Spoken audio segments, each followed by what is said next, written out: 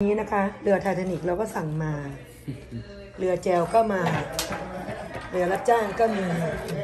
เรือหน้าตาจริงๆใครที่จัดงานปาร์ตี้สนใจนะคะ ติดต่อคนนี้ได้เลยนะคะเดี๋ยวจะให้ดูว่าเป็นใครมาดูกันก่อนนะคะว่า อันนี้เนี่ยเป็นมีทั้งสุกทั้งดิบนะคะผสมผสานกันแล้วก็ตรงด้านหัวเรือก็จะมีเป็นแบบค็อกเทลจะเป็นปลาหมึก หรือไม่ก็เป็นสลัดเขาเรียกว่าสาหร่ายนะคะ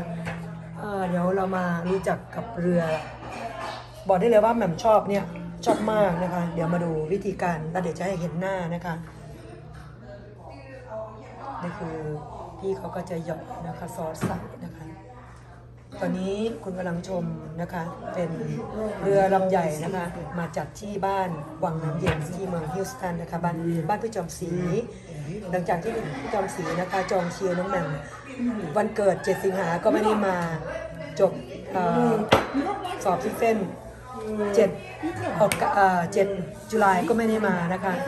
แต่วันนี้วันที่ 22 นะคะ หน้าตาเป็นแบบนี้ก็เขาก็จัดมาเซอร์ไพรส์นะคะ เอาล่ะถึงเวลามาดูคนที่ทำนะคะ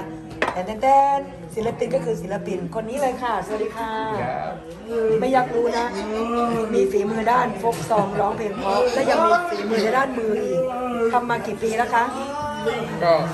สิบกว่าปีนะพี่สิบกว่าปีก็สมควรแล้วนะคะเนี่ยทำนี่ถือว่ายกร้านชูชูชิมาไว้ที่นี่เลยนะคะ ใครที่อยู่ฮิวสตันสนใจ รับงานนอกได้ไหม